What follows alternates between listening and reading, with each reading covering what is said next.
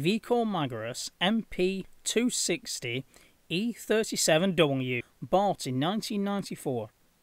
The MP260 Eurotrakker is intended to supersede the Magirus 178 series and the Mercedes 2626. The Magirus is powered by a 13.798cc six cylinder diesel engine with an output of 370 horsepower at 1900 revs per minute.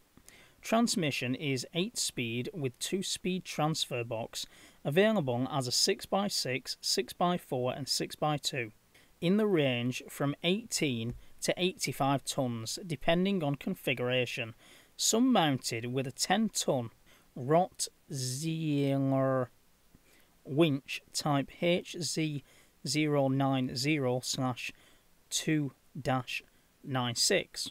Years in production 1993 to 2004.